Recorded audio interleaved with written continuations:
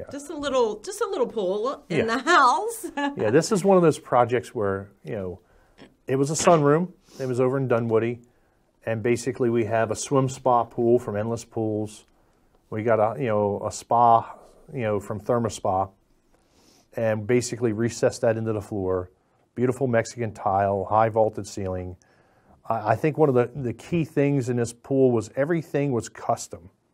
There was custom windows from Pella, custom skylights from Velux, custom tile, and also the one reason why it doesn't smell like the YMCA, the, client did a chlorine-free filter. And this was a 300, and I got to tell you a story. The pool guy, we're at the pool guy, we're with Mr. Morgan, and he's spending over 300,000. And he's like, how much for the chlorine, you know, filter thing, chlorine free? Oh, it's about $575. I don't know if you want it. Me and Mr. Morgan kind of chuckled.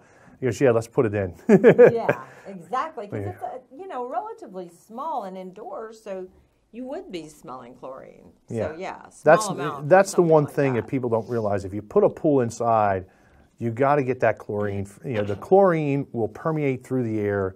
It'll Uh-huh. it'll destroy you know the trim and, and all the other Oh, things. really? Yeah. So the chlorine-free filter is absolutely imperative. That you know if you do something inside, if it's outside, it's not too bad, but inside, you know, you definitely need it. Definitely. Okay. That's a huge tip. And I love like the kitchen in here. Tell me a little Cut- bit about that. Yeah, that was you know a custom kitchen. You know, we brought a custom kitchen guy in. You know, custom made the cabinets. I believe they were a maple wood, and you know more traditional style. You know, we- we had that brick exterior, so we kept that brick exterior of the home.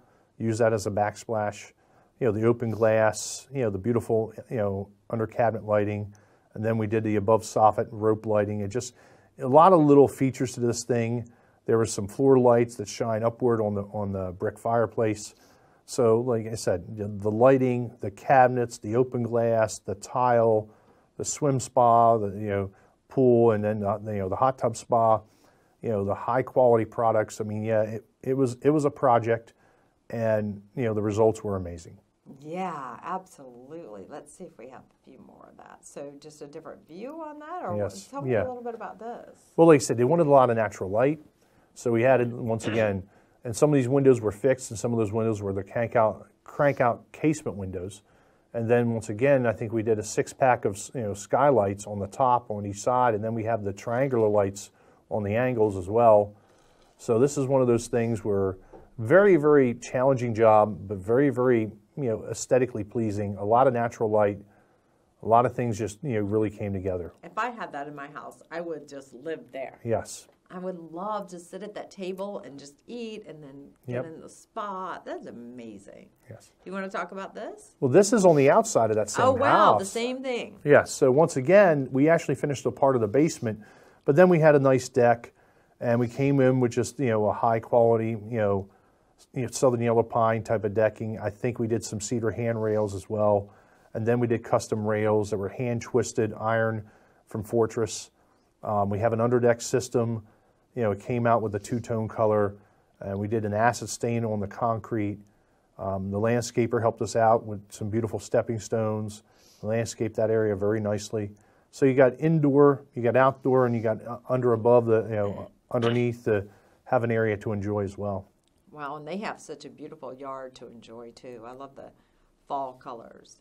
This was all part of this, or this No, is it's another one? project. Okay, so tell us about this one. This actually won the national award, you know, uh, in CotY Contract Year Award at the national level, Wow, and those for are addition, so competitive.